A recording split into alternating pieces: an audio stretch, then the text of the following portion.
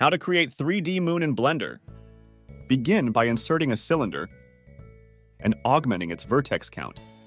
Then, modify its shape by scaling it accordingly.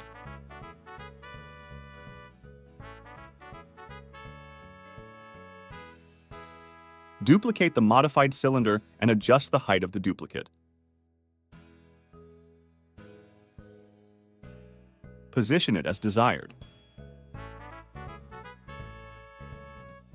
Next, access the Boolean tool and select the difference operation. Now that you have created a half-moon shape, the next step is to apply a texture. Visit unsplash.com and initiate a search for moon. This moon appears quite appealing.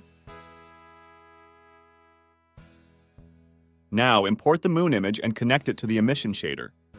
If the texture appears distorted, you can resolve this by entering the UV editing mode.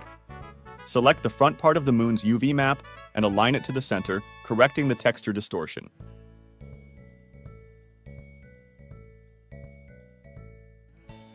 Now that it's fixed, enable the relevant options to make the moon emit a glow.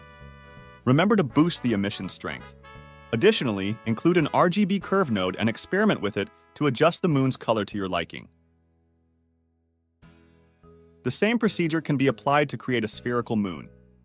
I recommend giving it a try yourself.